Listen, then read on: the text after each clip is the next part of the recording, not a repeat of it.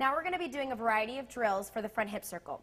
Brianna's going to show the starting position by pushing up to the thighs and then extending her body straight.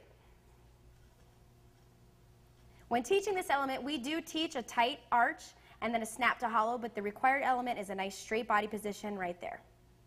Very nice. Good. Lexi's going to show the next step. Pull over. She's going to do a front hip circle where she actually lets go of the bar, grabs her thighs, and circles around. Good.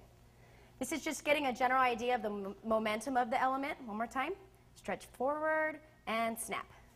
Good. That helps the gymnast to understand the momentum of the circle of the front hip circle. Another drill for the front hip circle is going to be where we use TheraBand to tie the hips around the bar by coming through, around the bar, back around the gymnast, and in a knot. This helps keep, keep their hips against the bar, which makes them feel secure so they can begin to get that arch or straight body, hollow snap around the bar.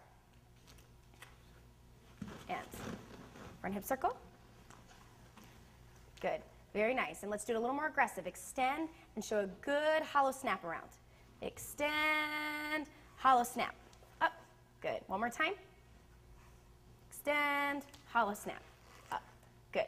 This is a great way to get a lot of kids in your class doing front hip circles without having to spot. The final step for a front hip circle is going to be a spotted front hip circle, focusing on straight arms, and the start and finish position. Nice and stretch, hollow snap, holding the feet in front at the end so that gymnast is able to cast out. Cast. Good. Hannah's going to perform this element by herself. Stretch, hollow, hold the feet, and cast. Very nice.